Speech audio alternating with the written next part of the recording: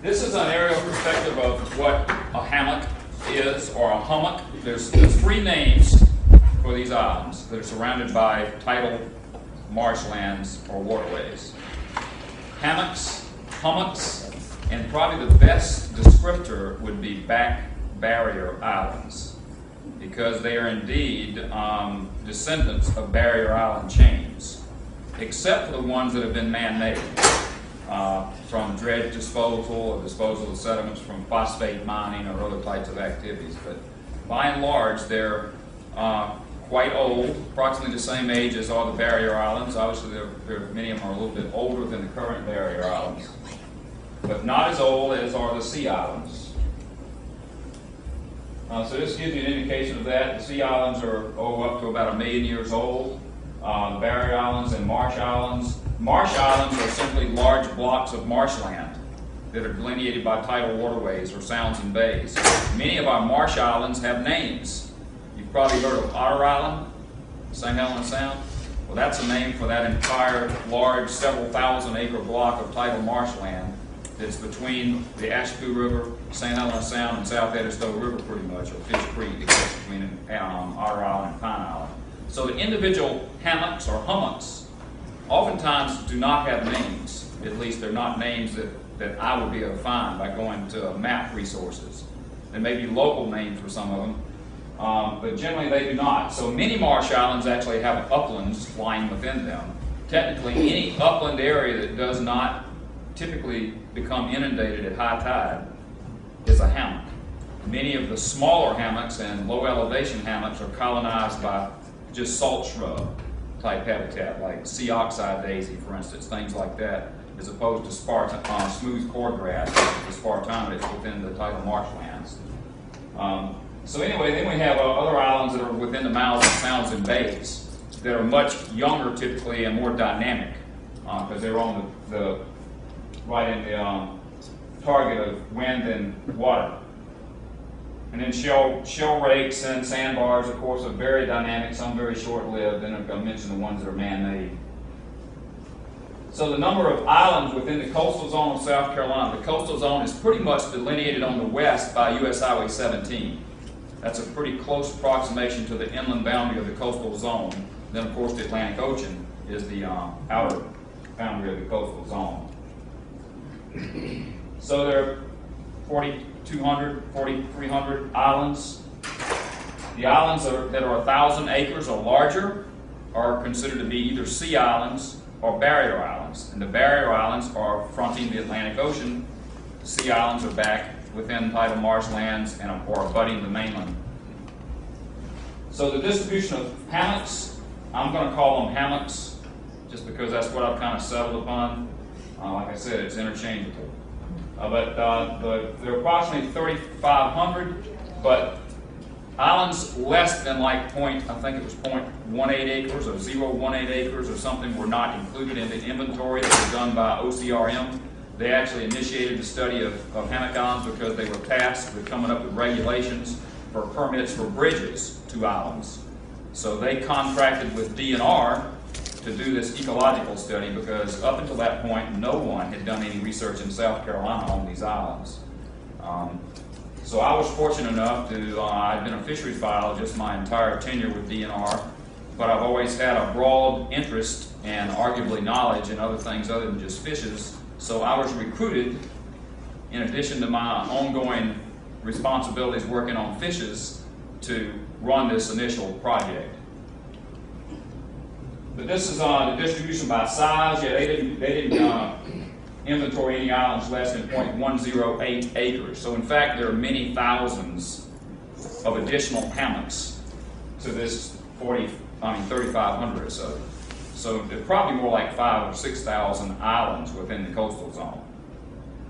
But that's the distribution. You see the vast majority are, are in the smaller size and very few really large hammocks. And there are a number of attributes or assets for these islands. Uh, the thing that most of us enjoy about them is the aesthetic value they give us. I mean, the, the, the Spartina Marsh is certainly beautiful in its own right, but to me, it becomes a lot more interesting when you have these islands scattered around in it to create some change in the landscape. Uh, then things a lot of people do not understand about these islands is they're incredibly rich in archaeological, cultural, and historical resources, uh, particularly when you date back three or four thousand years ago to Native Americans. Uh, they were very nomadic, not unlike a lot of tribes in Africa and so forth, and they moved seasonally down toward the coast in the wintertime and inland in the summertime, as you might expect to get away from biting insects and so forth.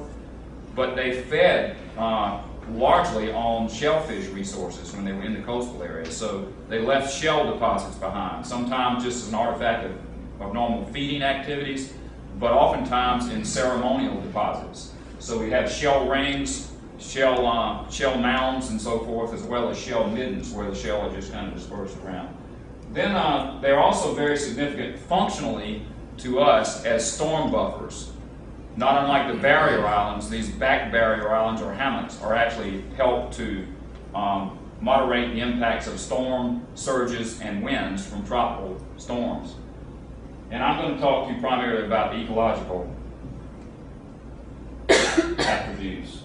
So this gives you kind of an indication of what, how the funding is. Um, I really don't have any pointed funding now to be working on hammock islands. My supervisor, fortunately, um, allows me to do it because he agrees with me it's a very important area we still don't know enough about. So we started off in, 2000, in, in uh, 2003, 2004 with 30 with thirty thousand dollars to basically tell OCRM everything there was that you could possibly know about a hammock island. It's what they wanted to know. And I was uninvited to meetings after the first meeting I attended because I stood up and said, This is ridiculous. We can't determine all of this stuff if we had $200,000, much less $30,000.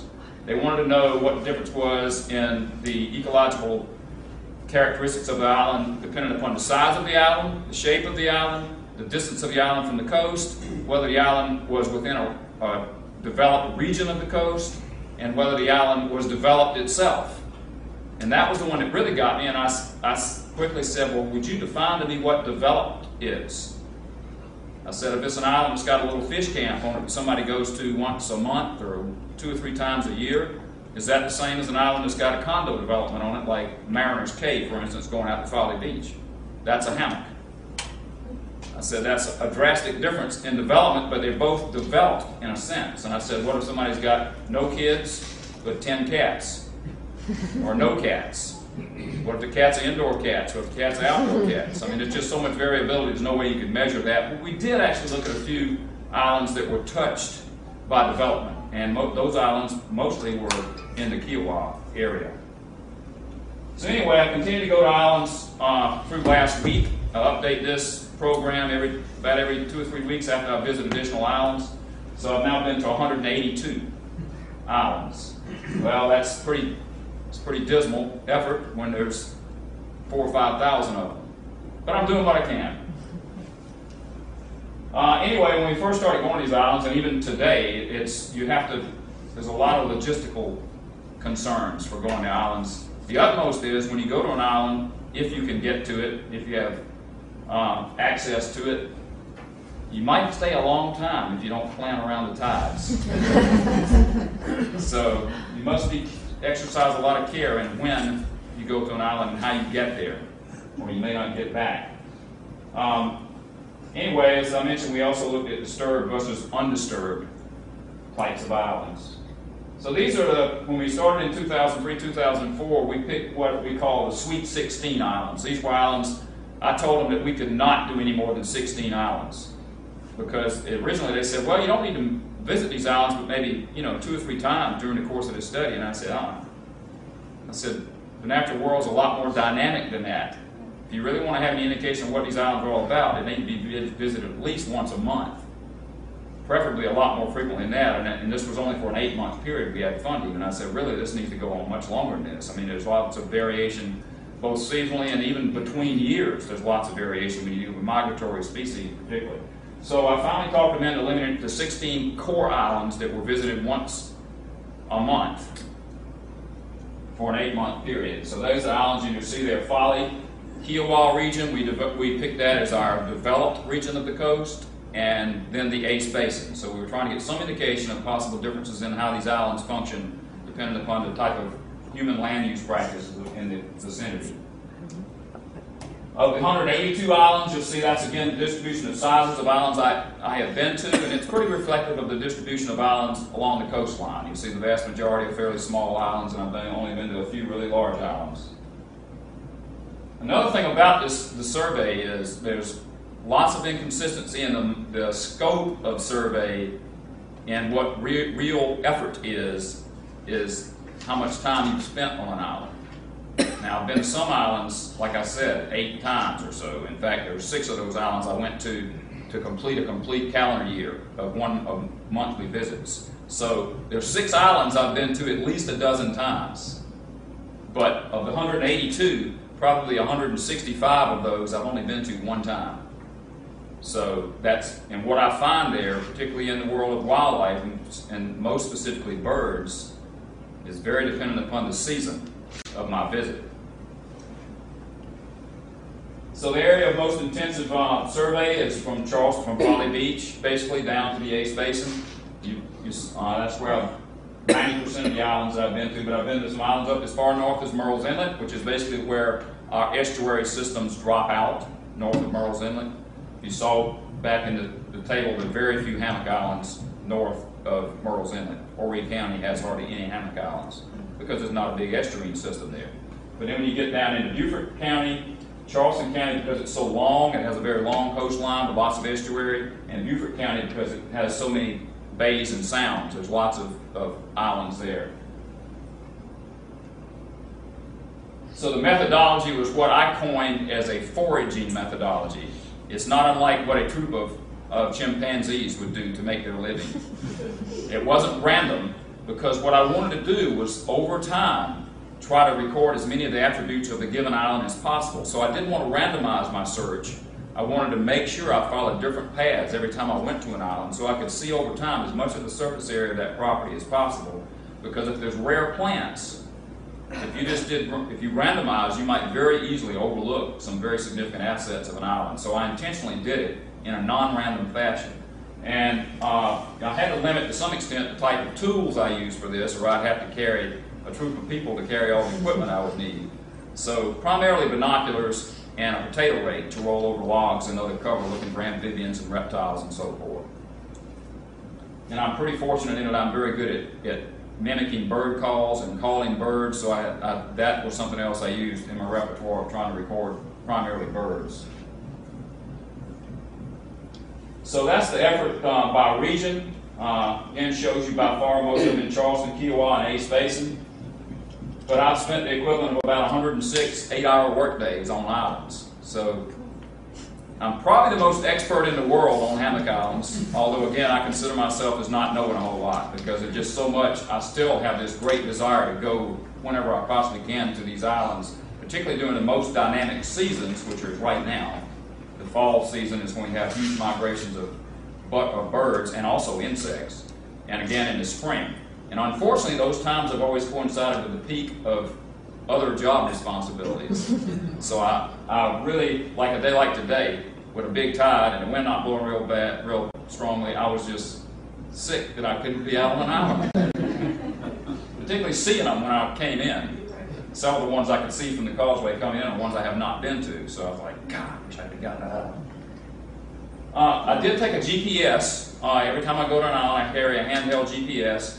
And that's basically so I can look back and see that I've covered the island. That's particularly important when I was trying to make sure over time that I, that I wandered around and covered it. And I'd see my previous tracks on the GPS.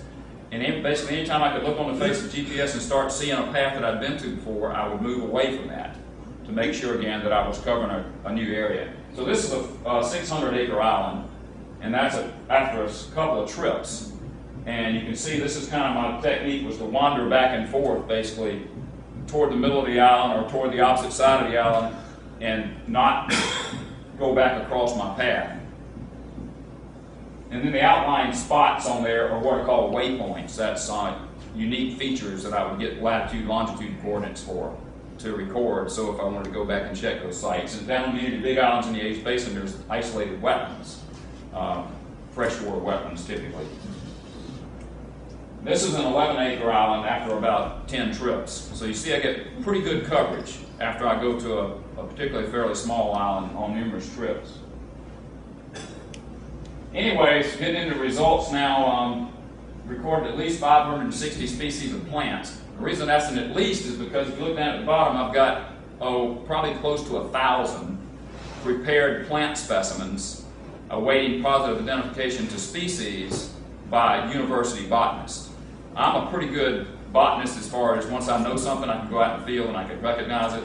But if it's a species of grass or sedge that you have to look at through a microscope and go through all these real laborious plant keys to determine which species it is, that's a little bit beyond probably my abilities and certainly my time. Um, so I've got these relationships with botanists at Clemson and at Citadel to be identifying these plants. Unfortunately, I'm not very patient, so they're not identifying quite as quickly as I would like to see it happen. Uh, so I have many, many plants that are awaiting identification. A lot of them are replicas because I collect the same unknown species over and over and over from each island I go to to get a record for that species because it may end up, some of them might be some rare species of plant. So it's very important to know all the different sites where they may occur. So most of these are grasses and sedges um, that, again, are pretty, uh, it's pretty difficult to key those things out. Um, so anyway, 22 rare or uncommon species listed in South Carolina I've documented on these islands. So very significant botanically. Very diverse. One of the reasons for this is because these islands are incredibly diverse in habitat types over a very small landscape. And that's because of the impacts or non-impacts of salt. As you move away from the edge of the salt marsh and get a buffer right around that edge, and you don't get salt intruding up into the center of the island, you start getting habitats or plant communities that are more typical of very large land masses. So you have very rapid changes of plant communities or habitats as you move away from the influence of salt. So that's affected a lot by the shape of the island, the size of the island, and the proximity of the island to the coastline. Islands that are very close to the, to the ocean are obviously get more impact during tropical storms and big high tide events from salt than ones that are farther removed up in some sound or bay or, or the um, a basin, river basin like the Edisto or Ace Basin area. So incredibly diverse. Um, some of the, the common habitats or plant communities are salt flat. Salt flats are the upper extent of the salt marsh tidal areas that only inundate during very large tide events like we're having today. There'll be flooded salt flats. They get the name because they're very flat, like a plateau in the marsh and they're incredibly salty because they're very flat. The tides on big tide events get up and inundate them, and then when the tide recedes, the water doesn't withdraw from the, tight, the, the salt flat very quickly, so it just percolates down into the sediments. And then when the sun comes out, over the days that it doesn't flood, it evaporates all the fresh water out of the soil, and the salt remains. So it becomes very, very saline. So it's only a few specialized plants that can survive in these areas. And those are, those are some of the plants, saltworts and glassworts. Then you get up and there's a, a distinctive transition zone between the upland and the tidal areas. And that's what's typically called the salt shrub thicket. And it's usually a little collar around these islands and around all the salt marsh areas where you get the transition from salt marsh to upland. And it's typically just got sea oxeye, which is an aster, and marsh elder are two of the more common plants there in that zone. And when you step up into the upland where you get the soils basically depleted of salt by rain events, you start getting more of the plants you would find in a typical upland, upland area in the coastal area. And uh, southern red cedar is one of the ones that can actually stand a, a more salt than most of our trees. So it's oftentimes right around the edges of the island. Then in uh, areas where you have a, a fairly um, flat area, but it's above the high tide influence. A lot of times there's little pockets that'll hold fresh water. Gets very moist, it's very lush growth, very swampy with shrubs, incredibly thick. So those are shrub swamps is what, what they're called. Excellent places for lots of types of wildlife and certainly insects like mosquitoes. and then in areas where it's fairly poor soil and open areas with not much uh, canopy closure, you have what's called a hammock or grasslands. That sponsors species like sweetgrass, which is what the, um, the grass, and that's our native variety of sweetgrass, unlike most of it that's used in landscaping, is actually from Texas. It's the same species, but a different variety, which is a little concerning to me because I'm a little afraid that maybe these, all of this is used in landscaping may eventually contaminate our, our real native sweetgrass population. Then down in the Ace Basin particularly, we have, like I said, we have a lot of isolated wetlands within these islands. Very important because fresh water is essential for a huge group of animals, wildlife, like amphibians. Practically all amphibians have to have fresh water. So many more species of amphibians in the Ace Basin are on islands where there are freshwater wetlands than on islands that are surrounded by salt marsh without freshwater wetlands. Also, freshwater fishes, lots of aquatic insects, a lot more diversity of dragonflies, things like that you find where there's not fresh water nearby. And plants. So this is an aerial view of a, this is about a 30 acre island, and that's about a three or four acre wetland. The entire wetland is colonized by almost one single species of plant. It's a relative of Spartina, salt marsh, uh, smooth cord grass is Spartina that's in the salt marshes. This one's called sand cord grass, Spartina bakeri. Pretty neat plant. It probably will make its way into the landscaping industry. Very versatile, real pretty, real sprawling, kind of silvery green leaves on it. Uh, it does real well. I've got some in my brother's yard up in Clarendon County. It's doing really well. So I think it's going to probably become a good landscaping plant. But the centers of these ponds often are open, not unlike the Everglades region of Florida. These openings are pools in the center. Many times have permanent fresh water or maintained by alligators. So the, the gators are very important for the uh, overall ecology of these, these isolated wetland systems. Now, many of the islands, even here in the Kiawah area, where there's not many freshwater wetlands as such, what is sponsoring species of amphibians is what I call a bowl depression. And that is formed undoubtedly by a blown down tree. Many years ago, the root ball came out and it left a depression. And what happens is it retains water during torrential rain events. And when the water starts to recede, raccoons go in and dig to try to maintain access to fresh water. And they maintain these depressions that still sponsor species of amphibians. So this island, only wetland on the island, it would never qualify as a wetland but it's sponsoring populations of things like squirrel tree frog or southern toad. And then there's forested depression wetlands that again have uh, seasonal uh, surface water, very important for species of amphibians, also a lot of aquatic insects, particularly dragonflies. In permanent wetlands have large species of fish present. So a lot of species of amphibians and aquatic insects cannot coexist with large fishes for obvious reasons. So these seasonal wetlands are very valuable to species of wildlife. Um, now about the Native American shell deposits. This is a shell mound. Um, you'll see the piece, the wood and aluminum around are what are called cover boards that we put out on some of the islands to try to attract reptiles, amphibians, small mammals um, as a means of, of, increasing our odds of encounter. Um, so we put some around here, and I did find some skinks and things under some of these cover boards right around that shell mound. Shell mounds are very significant because they, in the coastal part of South Carolina, the soil uh, pH is generally about six and a half.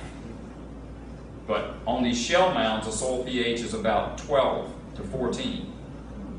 So you go from an area where it's almost always very acidic soils to an area of very alkaline soils. So they're unique plants that occur nowhere else in the world except on Native American shell deposits. Several of the rarest plants in South Carolina and the entire southeastern United States are found only and associated with Native American shell deposits. And what makes these islands so valuable is that most of the shell deposits in larger land masses have been destroyed or at least damaged by human agricultural activities or silvicultural activities or development over the years. People, when they made out big plantation fields for Sea Island cotton or whatever since then, didn't avoid little shell mounds that were like this, were only 12 or 15 feet across. They just went right through them. So most of our better um, examples of these types of things are on these isolated islands. This is an indication, this shows you a shell ring that's about uh, 70 yards across in the center of this. The Ace Basin, uh, DNR just got these islands, as a matter of fact. They're part of Botany Bay Plantation. The, the island to the right up there, it also has a shell ring attached to it. That island is about two and a half acres. It's made entirely of shell. And there's colonies of our rarest plants on those islands. So these, some of these, and one of the plants that's associated with shell sites is called shell mound buckthorn. Um, and it, it was thought to be incredibly rare. There weren't very many known sites of its existence in the state until I started this Hammock Island survey, and I found it all over the place, but always associated with Native American shell deposits. I can almost predict it's going to be there if I find shell deposits on an island. So it's, it's really good. I've, I've increased the uh, inventory of some of these rare plants dramatically by doing this survey. The sad part is that unfortunately, the shell, shell deposits are almost always on the highest elevation area of an island because that's obviously that's where the Indians would have gone to to get away from the tide.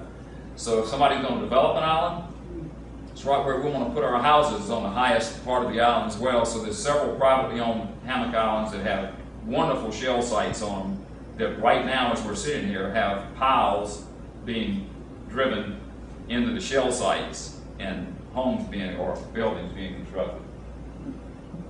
But this shows you, this, this is a shell ring, which is a ceremonial deposit, deposition of shell. They put that shell there intentionally, obviously, to make it in that ring shape. And we, we think it may have been from some like of a wedding type ceremony or something. And the shell mounds are thought to also be ceremonial, where they intentionally piled up bunches and bunches of shell. The other bigger island here has got a lot of what's called shell midden. And again, that's just where the shell just kind of broadcasts generally around the surface of the island from just feeding activity. Because they were wandering around different campsite every time and throwing the shell out as they fed on the, on the uh, oysters and clams. But all three of those types of habitats maintain some of these really rare plants that are dependent upon these high pH soils.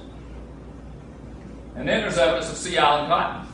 Amazingly, how these, it's hard to really see these things well with a photograph, but that one does a pretty good job of capturing it. But it amazes me how well preserved these furrows are that are several hundred years old. And there's now live oaks that are 150 years old or 200 years old growing out in the forest that are, there's a closed canopy over this of live oaks. It's just amazing to, to realize that 200, 250 years ago, that island had no trees on it. It was all under sea island cotton. So some of our best preserved examples of that too are on hammocks because they haven't had follow-up agriculture on top of, of the sea island cotton. Then this is an example of an island that was created by the industry producing tabby. To make tabby, they burn oyster shell so this island is nothing but oyster shell. It's got coal, actually, or chunks of charcoals impregnated throughout the whole island, where it was a place, a site where they were burning oyster shell to create the mortar for making tabby walls and so forth back again, several hundred years ago. Um, it's a pretty good sized island. It's about an acre and a half, and it's got a huge colony of one of our real rare plants that likes high calcium soils. This is obviously very high in calcium because it's nothing but oyster shell.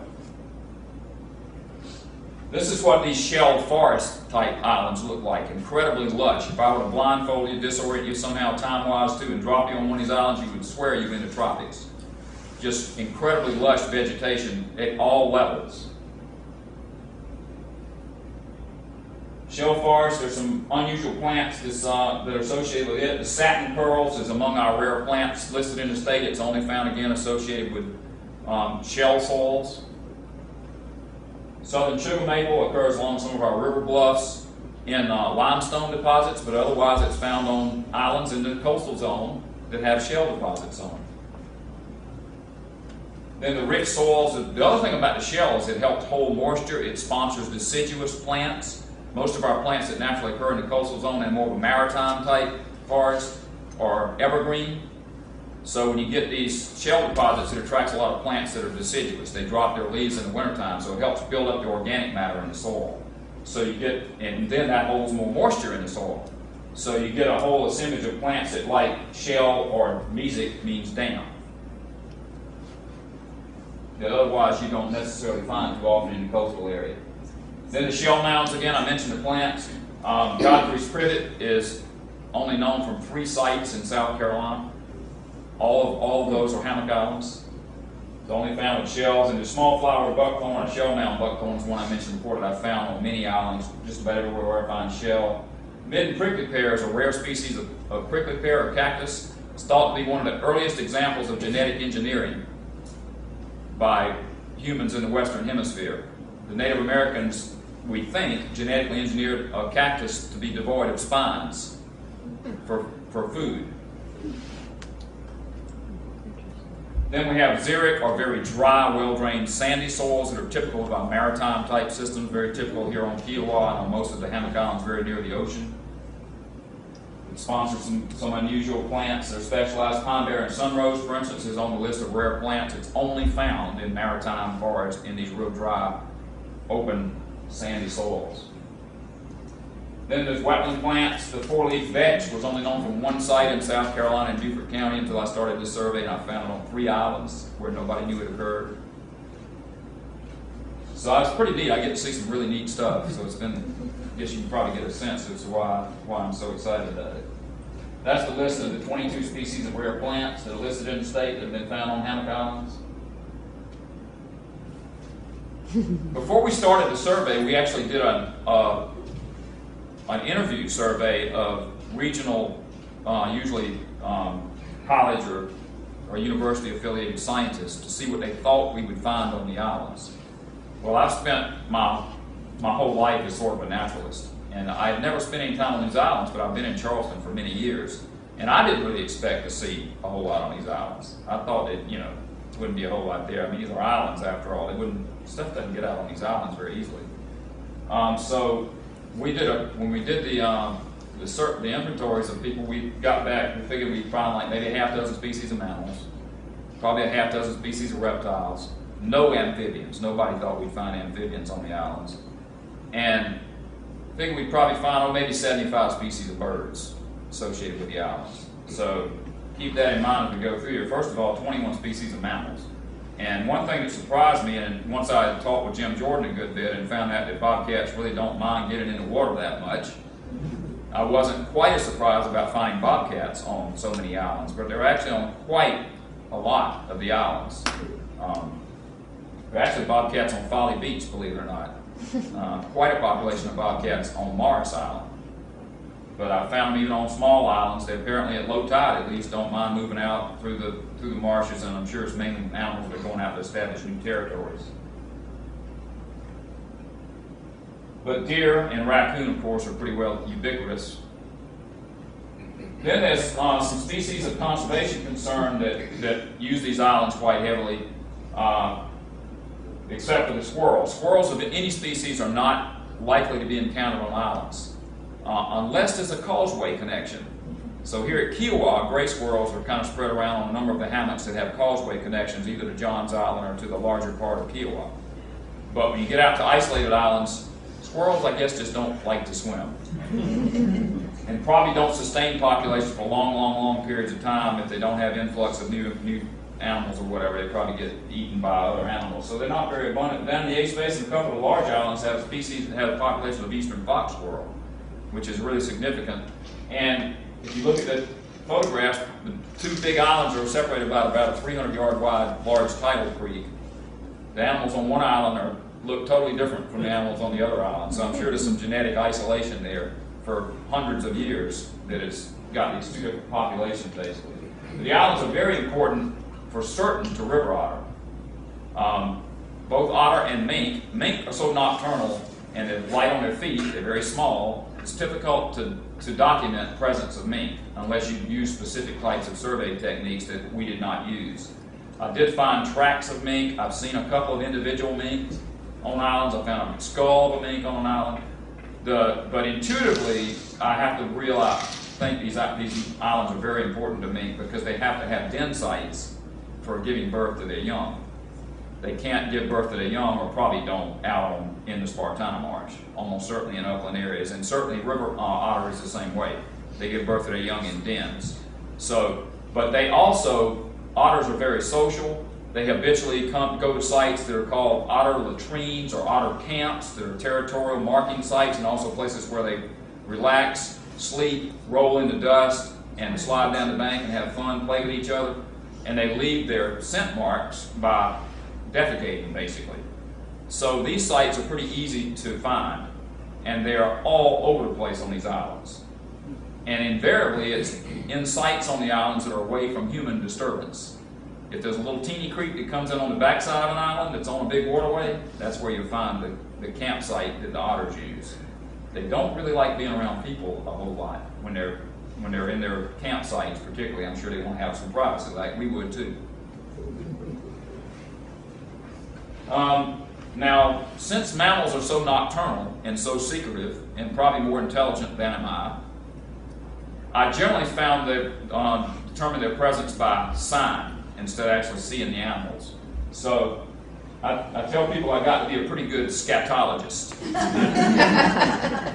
but the salt flats are an excellent place to determine the presence of mammals because it's a good place to find the, the footprints because the tide will come up and wash out previous prints and you can get some nice fish, fresh prints after big tide events. So that's one of the ways I documented things like bobcat and mink, but the scat is also pretty definitive for most animals. Down in Beaufort County, particularly in Colleton County now, and moving this way, nine-banded armadillo. My guess is on Kiawah, people will be cursing nine-banded armadillos in the next, within the next two decades.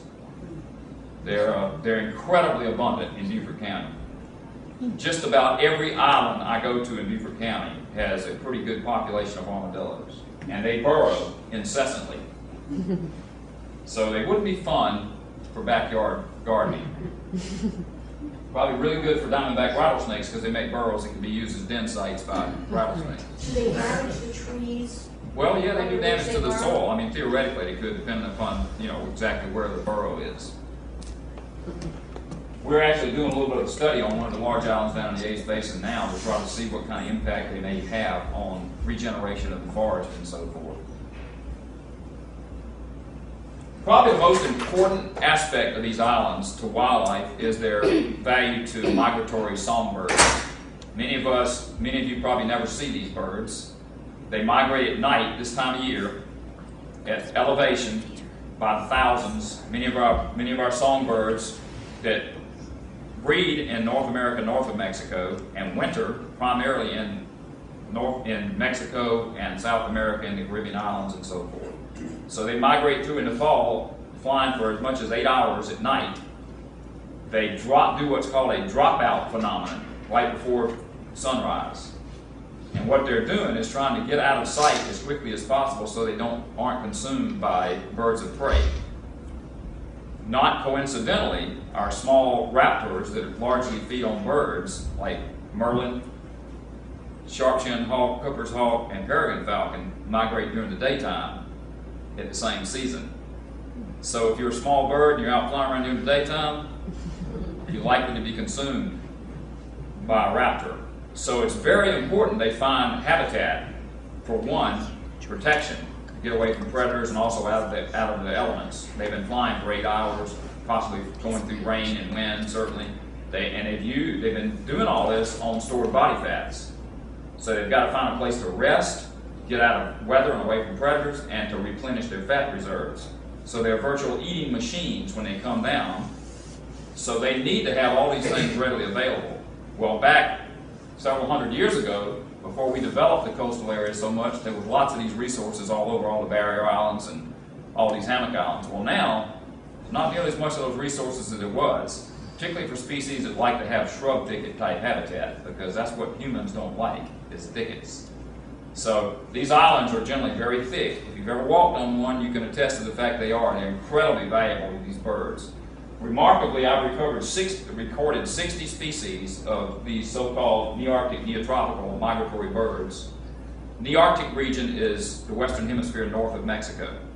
The neotropical region is the western hemisphere south of Mexico. So that's why they're called Nearctic neotropical, because they migrate back and forth between the two. They breed in one in winter, generally in the other.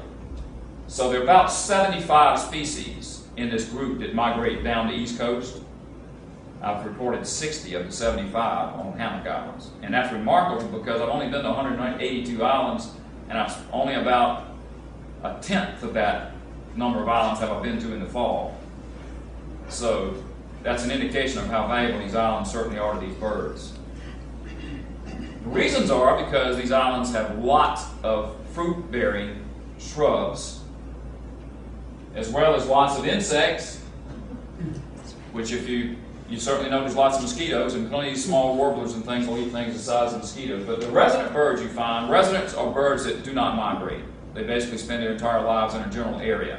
So it's the same ones you find here on Kiawah or anywhere in the coastal part of South Carolina. These are kind of the top four that you find on just about any wooded property. The one that you might say is missing from that if any of you are birders, oftentimes when you see chickadees, there's another bird that hangs out with them. Titmouse. For some reason, titmouse apparently does not like to, to move across open areas to the extent that chickadee does. Even a little small island way out in the middle of nowhere, it's like two or three acres, almost always has a breeding pair of chickadees. But you hardly ever find titmice unless the island's very close to a larger landmass. Sometimes they can be very abundant on an island that's near a larger landmass that has lots of hardwoods on it, but typically they do not occur on Hammock Island. Then some of the other breeding birds, are some of these Nearctic neotropical migratory birds. They, they're very common breeders on islands, but they're not here in the wintertime. Uh, things like yellow-throated warbler, white-eyed vireo, northern Parula, and particularly blue-gray gnatcatcher. It likes to nest in live oaks, so it's a very common breeder in the coastal part of the state. Then the, the most glorious one of all, and probably the one that the islands are most valuable to, is painted bunting. Uh, you'll see when we when I did uh, the 25 islands early in the study, we found painted buntings on 22 of 25 islands, and a couple of these islands had no habitat for painted buntings. So pretty much after having gone to 182 islands and having been to I've tried to go to a number of islands during the breeding season. I can tell you that there's about a 98% possibility that if you go to an island that's three acres or larger that has a forest on it, it will have at least a breeding pair of painted buntings. And those those odds are increased if you're in the Charleston Kiawah area versus the Ace Basin.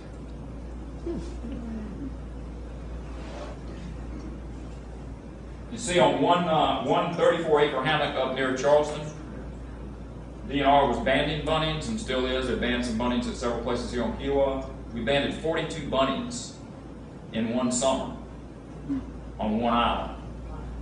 Now, many of them were young birds, but there were at least 10, well, we had 13 what are called AS after second year males. The males do not get all the gaudy plumage until they're after their second birthday. So the younger males are still green colored, kind of a little bit brighter than the average female bunting. So we had 13 after second year males on that island. So incredibly good habitat for painted buntings. Then in the winter, we have another whole suite of birds that moves in from the far north that breed up in Canada and alpine type regions in northern United States that move south in the winter. And these are our typical winter birds, and that's still the same thi- things you would find here in, on Kiawah, these same, same birds. Then particularly in the Ace Basin, there's a lot of wetland birds. Um, seaside sparrow is one that's in the salt marsh. In fact, it nests primarily in black needle rush marsh. Um, there's a little island just north of the northeast of the causeway coming in here that's got quite a lot of black needle rush actually up on the island. Um, I went to it with Carrie and Norm. Mike, did you go that day? Uh, I went to it one day by kayak, and it and we saw like 33 seaside sparrows on that one little island. It's only a couple of acres, so um, it's a species of highest conservation concern in South Carolina and throughout the southeast, just like painted bunting. So very significant find. Then there's all the nocturnal birds you'd find along in the whole coastal part of the state use these islands. In fact, barn owl is another species of highest conservation concern. I've found it on a number of islands roosting underneath the dead palmetto fronds.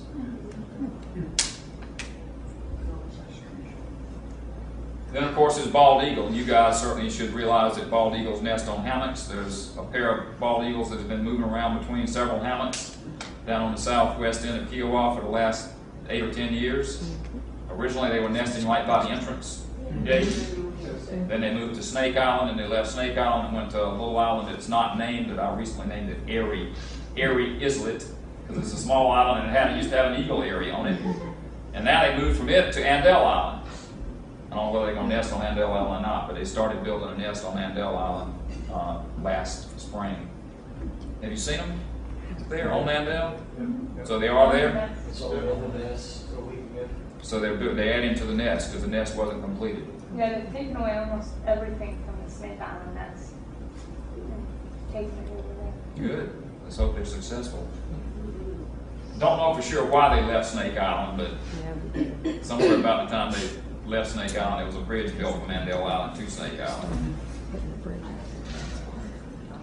But I've, I've seen eagle nest on, oh, about a half dozen hammocks, distributed along the coast. And I think there's 16 e- known eagle nesting territories on hammock islands along the coast. Um, another incredibly valuable aspect of these islands is their value to wading birds. Um, not as much for breeding sites as for resting and roosting sites. If you today, if you were observant, if you were riding out here, or anytime you're riding in and out of here at high tide, on particularly really big tides, the marsh gets so deep that even our largest wading birds, like great egrets and great blue herons, can't wade. So they spend that time resting, and they typically will recruit to these hammock islands or some forest border near the marsh where they don't get a lot of disturbance from people. Wading birds are typically pretty wary, so it's pretty predictable. If you see an island that's way out isolated, if you look at it on high tide from a distance, you'll see it's just peppered with white birds because that's the ones that stand out the most. So we record, recorded uh, 11 species of wading birds on islands, including wood stork. In fact, I saw 36 wood storks on, a, on about a 10 acre hammock island down in over on the Toogoodoo Creek area week before last at high tide. Um, so very important for these birds. If you walk around these islands, one thing you'll notice is the whitewash or droppings from wading birds just all over the place around the edge of these islands, particularly underneath dead pine trees and things where they roost. But incredibly valuable in several species, particularly down in the Ace Basin, again, where is enclosed wetlands, there's, there's some rookeries or communal nesting sites for wading birds. Green heron is one, is one that nests on a lot of the hammock islands because it doesn't usually occur in these, necessarily in these big rookery type situations. But 10 of those 11 species, the only, only species I've found associated with hammocks is not a priority conservation species in the state and region, is cattle egret. But all the, the other 10 are high priority or um, conservation species, meaning their populations are in, are in decline, and certainly the wood stork. Then I told you that we were, it was predicted we'd find about uh, half dozen species of reptiles. Well, 23 so far. These are the small reptiles you're most likely to encounter. Carolina anole is on practically every island. And then the most frequently encountered snakes.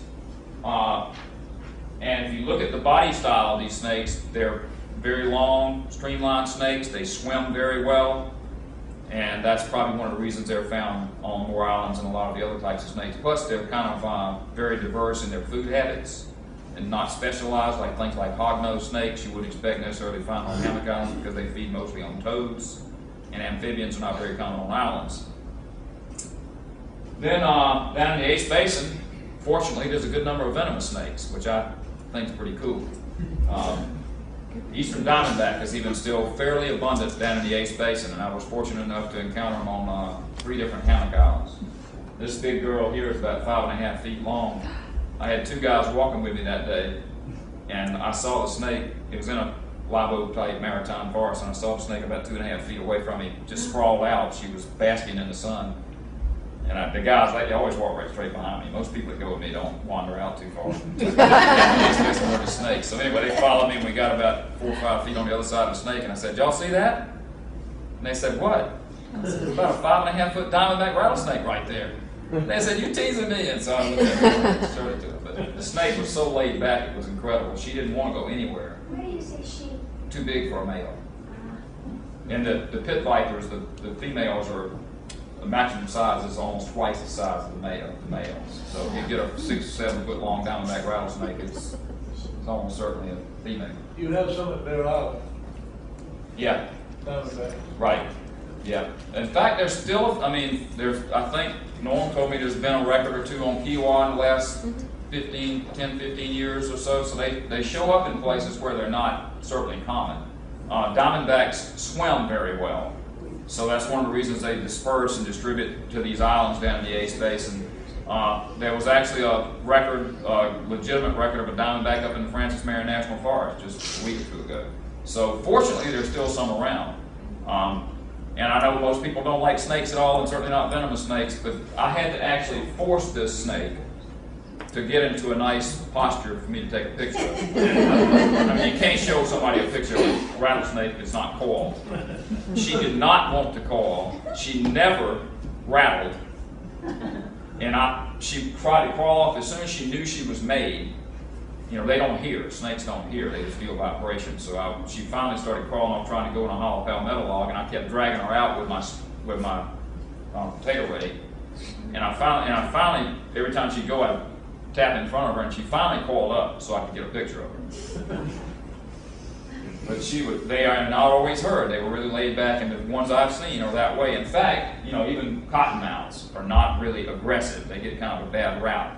The thing is about them, they're designed to have this belief that they're camouflaged and nobody sees me if I just sit here. so they, they're very stubborn. They don't want to move because obviously once they move, they know they've been had. So that's that's one of the things about these snakes that makes people think they're kind of they're aggressive. And they're kind of like the little guy on the block. The smaller ones are more aggressive than the big ones, so that's why diamondbacks are really laid back. Not many things are going to mess with them, so they don't have any reason to be aggressive. But some of the islands down in the Ace Basin are have big populations of cottonmouth, particularly the ones with the wetlands, and even the one with the shell forest photograph I had before. It's got a big population of cottonmouths on, it, even though it doesn't have any wetlands other than those little bowl depressions. It's got a big population of rodents and skinks that the uh, cottonmouths are using for food. But then again, now when we have these freshwater wetlands, we have a number of species of, of wetland type reptiles. Lots of alligators in the Ace Basin on these islands with freshwater ponds.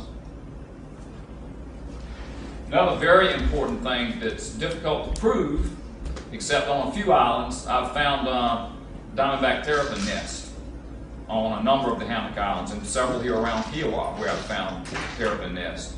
Sad thing about it is, uh, I know several people who do a lot of research on terrapins, and no one has found, yet found a terrapin nest unless it had been excavated by a predator. Uh, they're very good at, at hiding their nest. So the only islands that I know their nest on are the ones where a raccoon probably has consumed the eggs. But my guess is, is since these islands are in the salt marsh, in close proximity to where the terrapins hang out, and they have nice sandy soils which are not perfect for nesting, they're probably incredibly valuable as nesting sites, particularly since all of the other surrounding areas, or most of the other surrounding areas, in some areas are, are under development. Uh, most remarkably, 11 species of amphibians. Now, here in the Key, Charleston Kiawah area, I think we found four species of amphibians so far in the Charleston Kiawah area. And those are southern toad, southern leopard frog, narrowmouth toad, and squirrel tree frog. Well, no five, green tree frog as well. Uh, squirrel tree frog is the one you're most likely to encounter because they have a very short tadpole stage. And also narrowmouth toad has a, has a short tadpole, uh, tadpole stage. In fact, found narrowmouth toad on Snake Island, which is very, very un, unusual. And in the Ace Basin, three species of salamanders. Uh, number of species of fishes, that's a pretty poor slide, but nine, nine species of fishes, several of them totally freshwater fishes that are in these isolated wetlands. Uh, I've got a lot of interest in some geneticists wanting to do some research to see if these things are actually distinct from other populations. Obviously, they're very isolated in a freshwater pond surrounded by salt water. I don't see black bass there. Nope. Why? Largemouth bass? Small, either one. Small or large. Well, we don't have smallmouth here. They just stock up in the upper part of the state. But largemouth bass has to have permanent water. These pretty good sized water bodies because they're large predatory species. So none of these wetlands are large enough to, to sustain a population of a large predatory type fish. Um, I'm, I'm a sort of an entomologist. I'm very interested in insects and the species that I can most readily identify in the field or, or in the butterfly group and the dragonfly group. So every survey I've been on, I've recorded butterflies and dragonflies. In the coastal zone of South Carolina, there are about 120 species of butterflies. So again, this is an indication of how diverse these islands are. I've found over half of those species on hammock islands.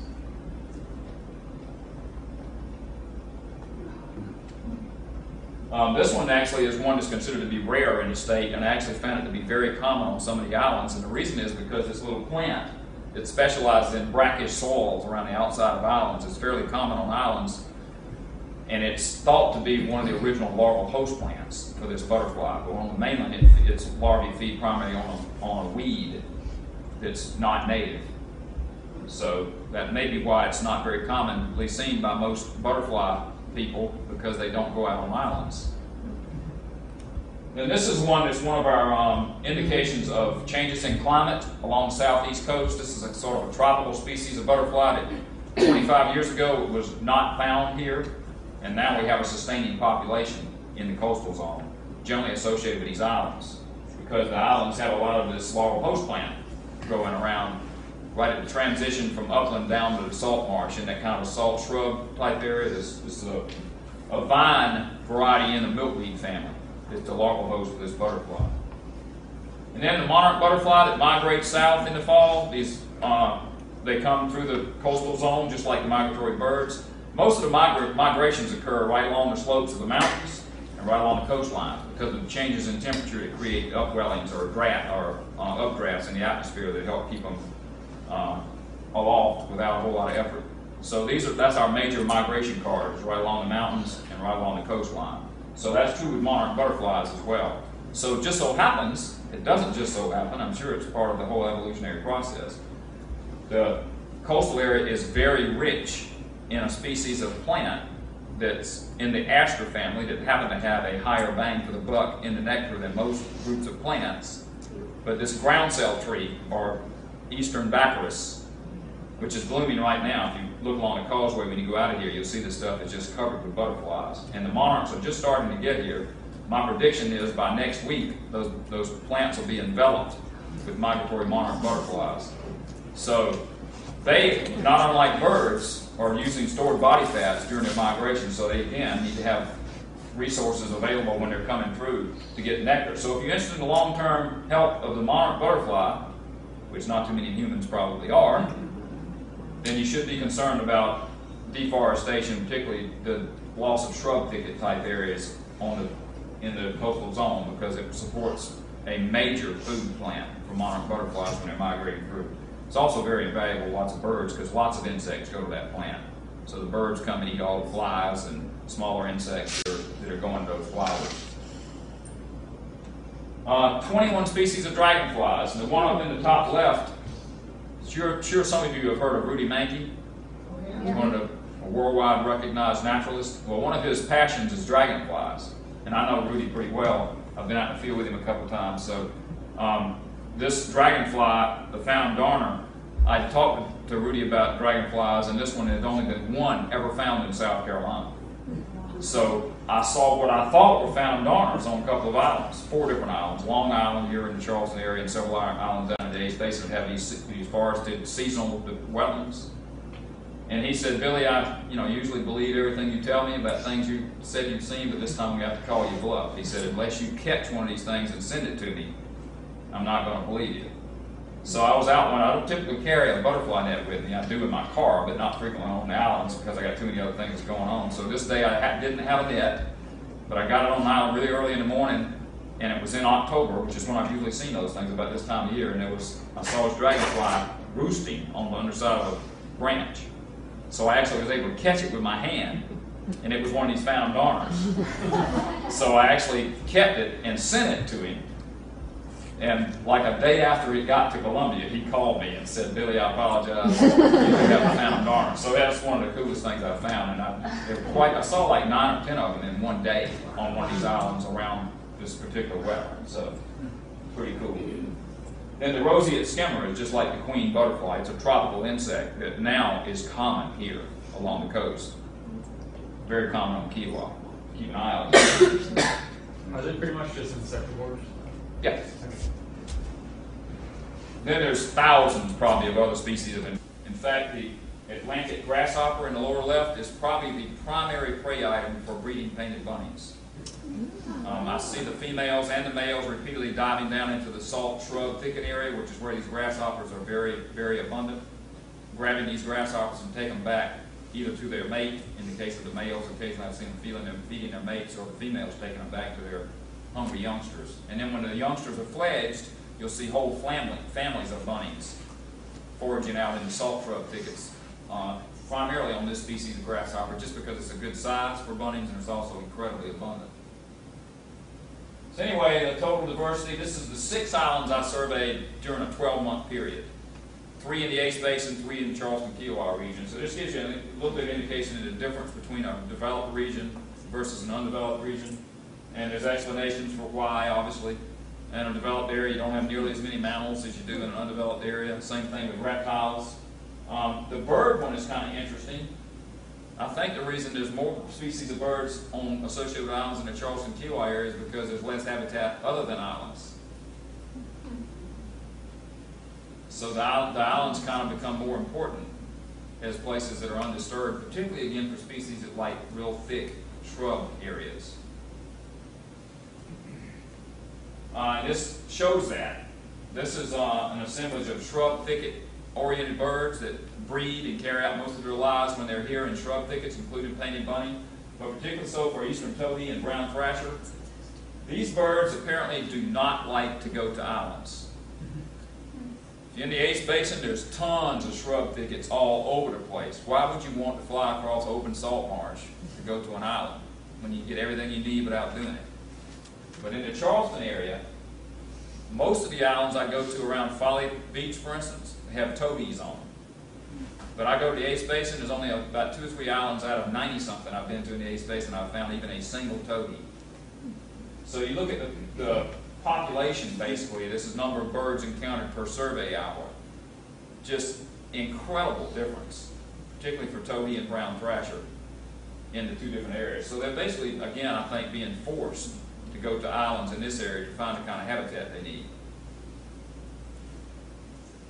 But even painted bunting, slightly more abundant in the Charleston area than in the Ace Basin. And this is also shown in the, in the winter sparrows, that some of the birds that recruit here to spend the winter, that don't breed here, that like shrub thickets. So the same thing is shown with them, how they're much more abundant on the islands here than they are in the Ace Basin. Uh, we have problems with invasive species on islands, just like everywhere now. Um, our landscaping industry has brought us lots of great plants, but unfortunately, the ones that really do well are capable of surviving in the wild. So they've managed to get on, even on the islands, and it's particularly through the ones that are very appealing to wildlife. One that birds love, they spread the seeds all over the place. So tallow tree is, tallow tree is the worst invasive species we have in the coastal part of the southeast, without a doubt. It actually eventually destroys wetlands. It doesn't like to be in standing water, it likes to be very close to it in damp soil, so what happens, most of our wetland plants like open wetlands. So what happens is it creates a canopy, it, it kills off the plants under it from out competing, it also uses up the water, because the trees get really big and have lots of water use, and then as it uses the water, it invades farther toward the center of the wetland where it's been dewatered. So that over time, depending on the depth of the wetland, if you've got a fairly shallow wetland, over maybe 50 years or a century, that wetland will be completely enveloped in nothing but tallow tree. And we can see that on some of the islands down in the Ace Basin. Um, Is that the same as the uh, kudzu? no, sir. This is Chinese tallow tree, popcorn tree. Kudzu's a vine. This is a, this is a tree. Uh, so this is, an- this is an indication of one of those wetlands I'm talking about. It, it, I know it was one time a open wetland because there's still a few relic buttonbush plants in it that are almost dead, but still putting out sprouts and trying to survive. Real tall shoots trying to get up to the sunlight. But other than that, there's nothing on the forest floor hardly at all because of so many tallow trees. So I've uh, spent lots of time and effort and a good bit of money trying to eradicate tallow tree on a 400 acre island. Not an easy thing to do. Because I found out one of the downsides to killing the trees is you have a huge germination rate of seeds that have been laying in the substrate. And it's predicted that tallow tree seeds can survive in the forest floor for over for up to 100 years. So once you get rid of the adult trees, it sponsors, more sunlight gets in, so you have a huge burst of germination of seeds that are laying in the, in the sediments. So some of these wetlands now that you, that I looked at that were wide open when I went and killed the tallow trees, they now have tallow trees that are thick as a lawn, up about two feet tall. We also have feral animals. Um, a lot of humans, again, don't like shrub thickets, so if you don't like shrub thickets, put goat.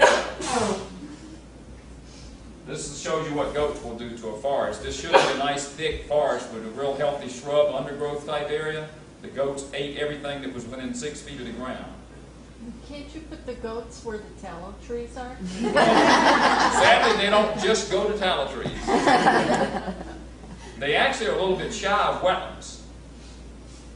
One, they don't like mud on their feet. Goats are pretty picky. That's one of the reasons they're real well suited for putting on islands, because they won't leave them. But they'll eat everything in sight.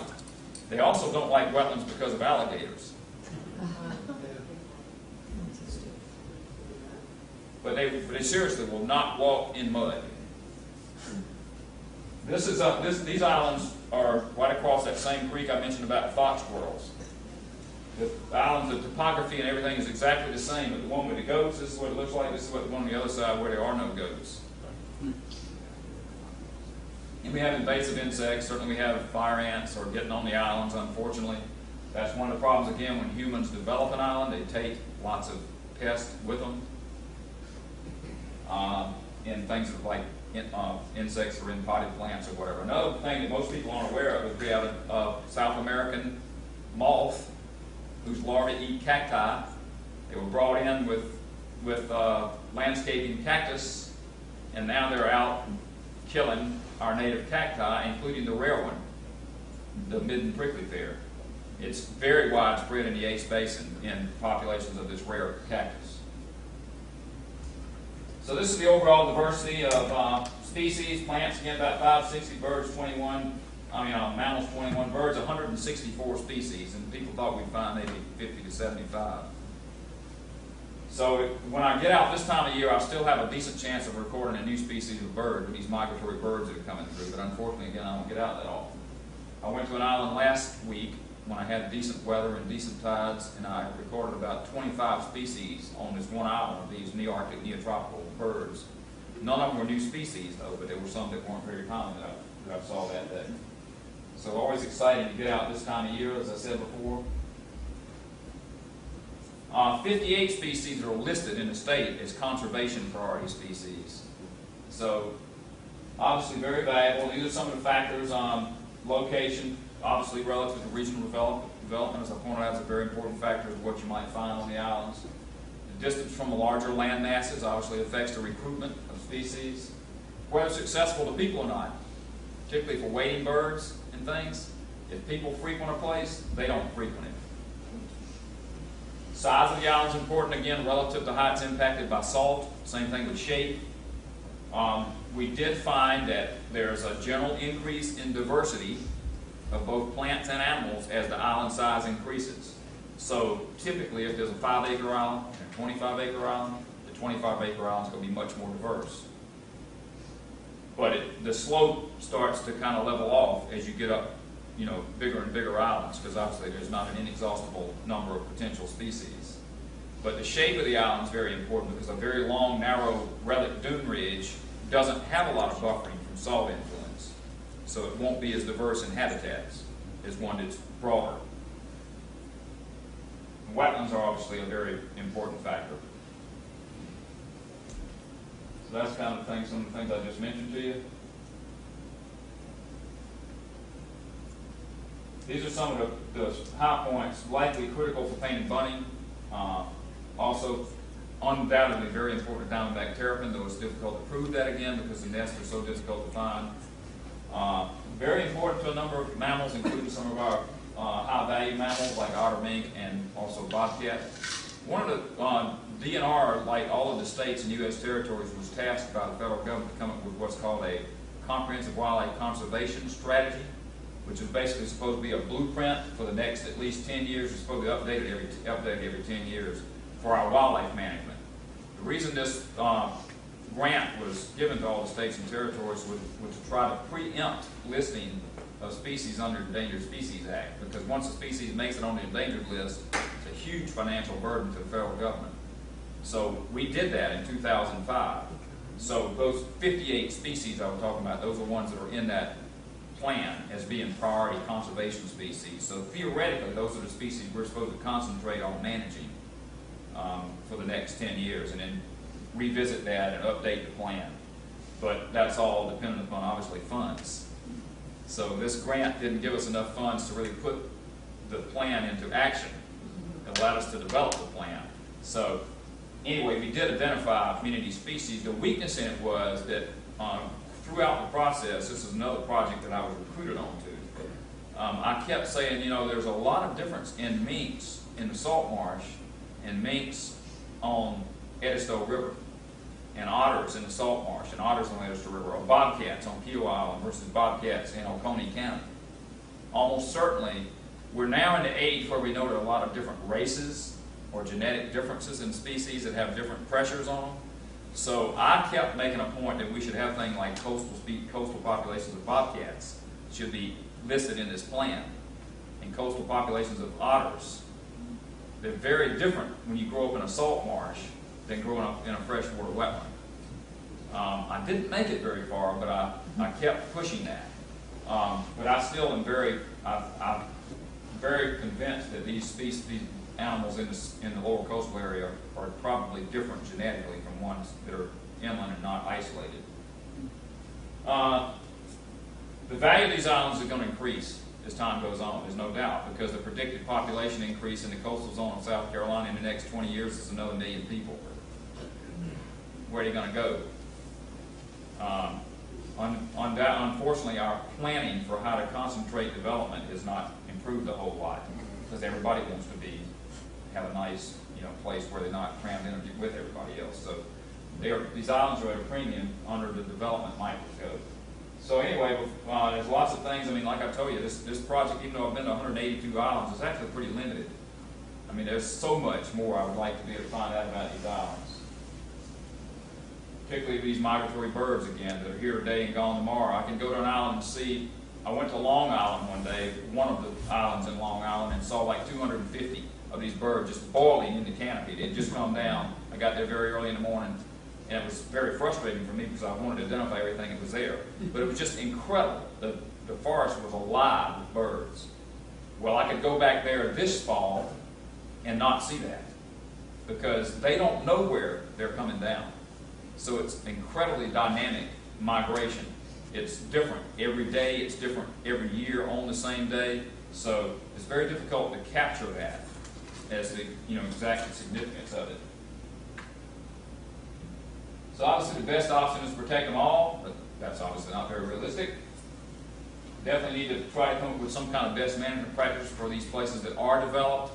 We're trying to do that uh, with DNR now, but it's a very difficult thing to do because unfortunately, though many of us and collectively biologists and scientists have been studying wildlife populations for hundreds of years, we still don't know enough about habitat requirements.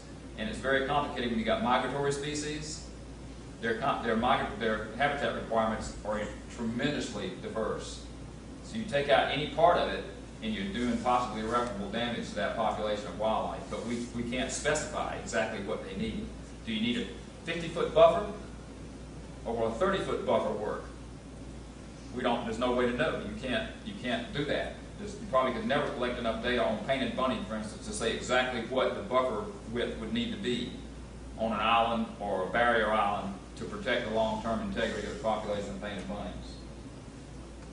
One of the things I'm really interested in is trying to protect these shell sites, because again, we're never going to have another three or four thousand year old Native American shell deposit. And most of them do not qualify for federal protection or state protection. So it's, it's quite sad that we're losing these things again every day, really. There's a good chance there's some of these things that are disappearing that nobody even knows they're there. Why don't they qualify? They, according to the, the federal, um, national historic, whatever it is, to be on that register, they have to have, to have to certain types of artifacts associated with them. I mean, it's pretty sad. They're not significant to us unless there's some kind of artifacts there other than just the shell. Right, then you have to dig all around it, which is, you know, disturbing the integrity of the site, just to do an evaluation. So I think they should just be protected, because they, again, they, they, they're, just for the fact that they're three thousand year old shell sites, they're valuable, historically and culturally and all that, but also botanically particularly, they, you know, they have at least the potential to have these rare plants. I mean, if these rare plant populations are gonna expand, they've got to have that microhabitat available. So if you're destroying them in a fashion, you're limiting the potential survival of those species of plants that are associated with them. So anyway, what does the future hold? That's an open question at this point.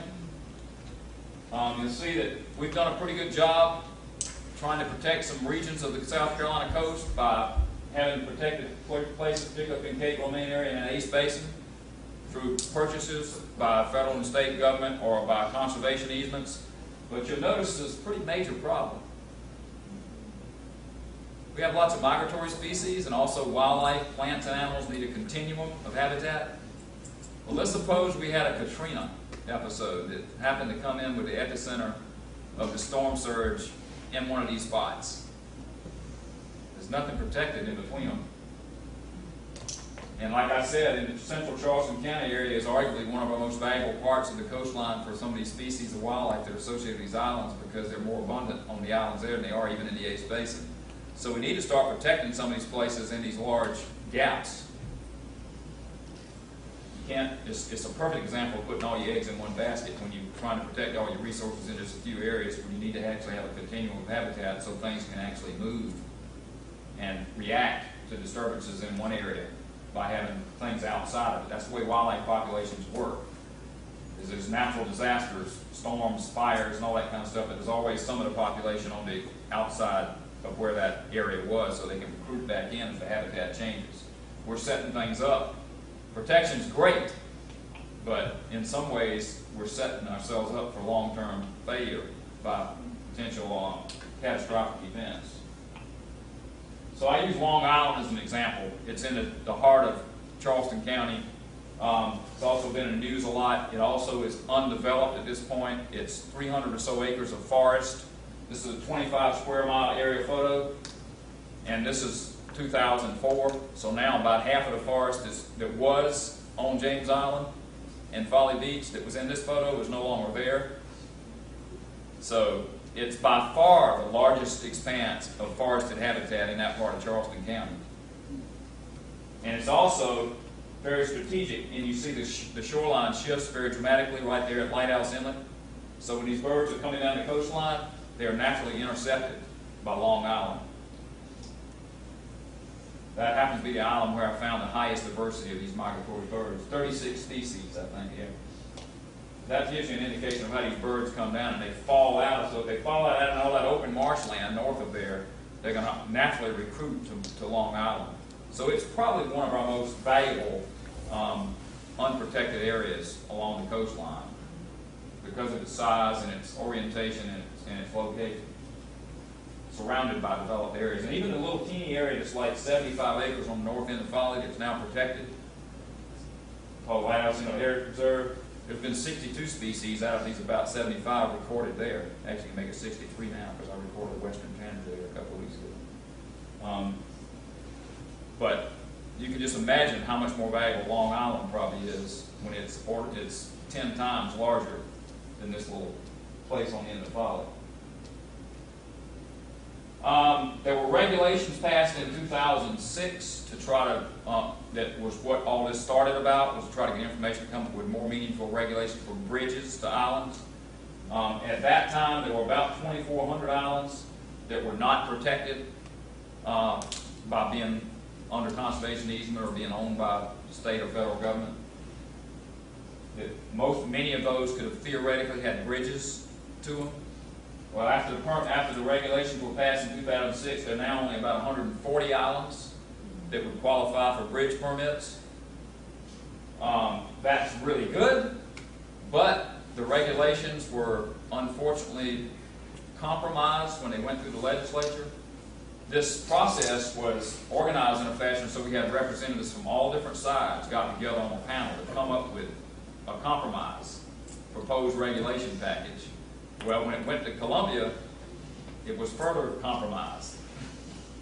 And not on the side of natural resource conservation.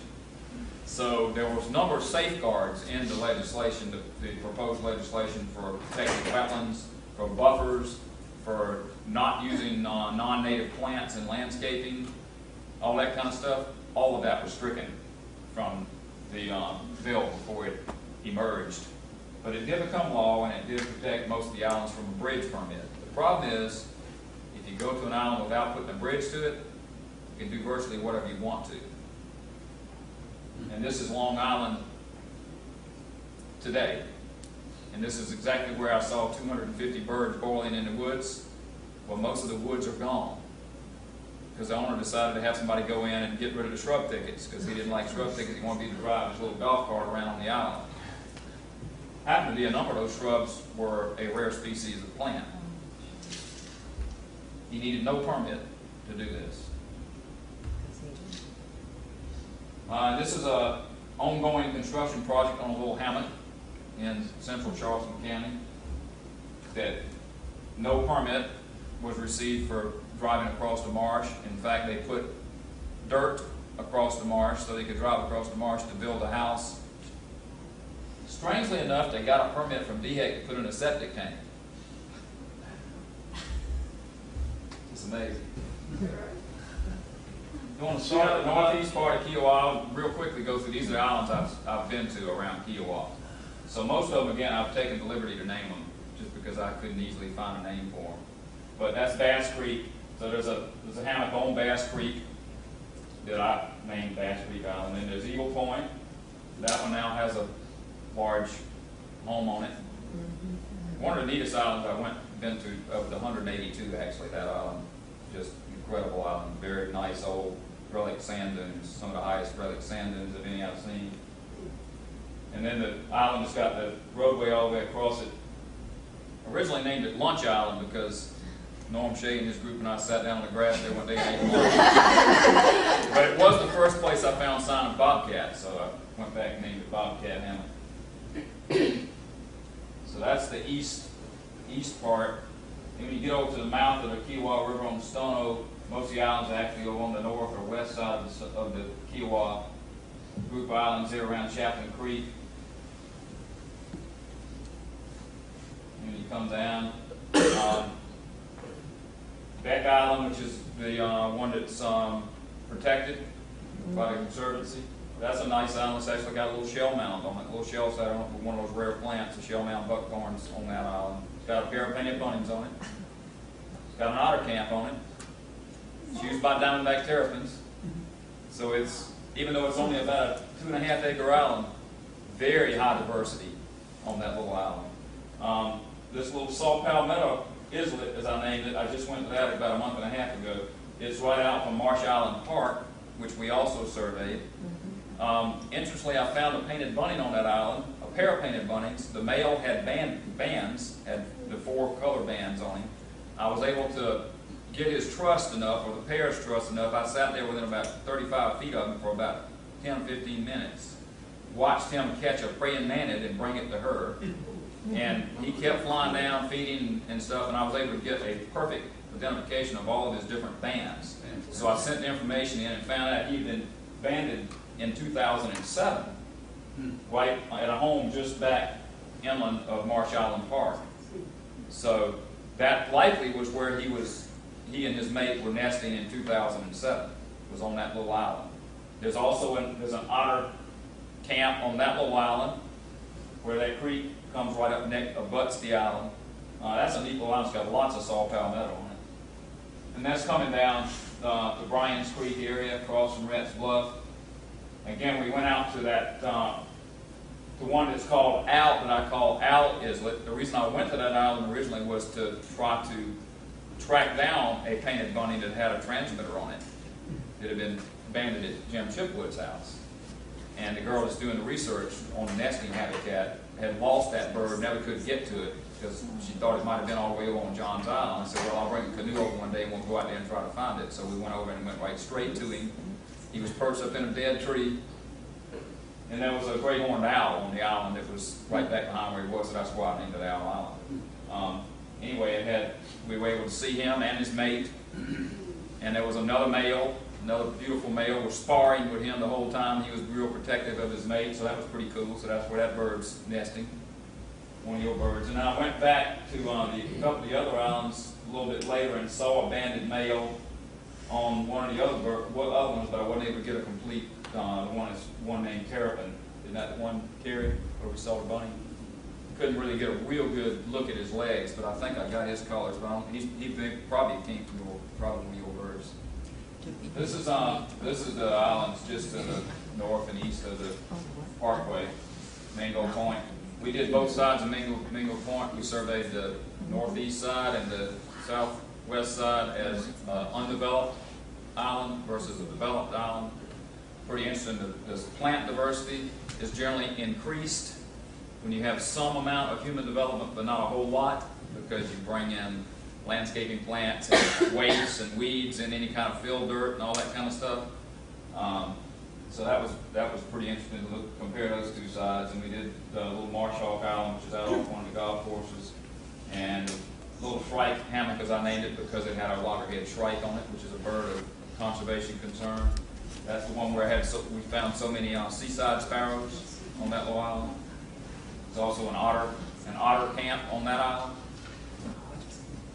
They're not good to have here. This is the islands, uh, on the south and west side of the causeway. Also did Quincy's Island, which is over on the edge of Cohicket. Anyway, a lot of people think, and I've taken a long time, so I'll take questions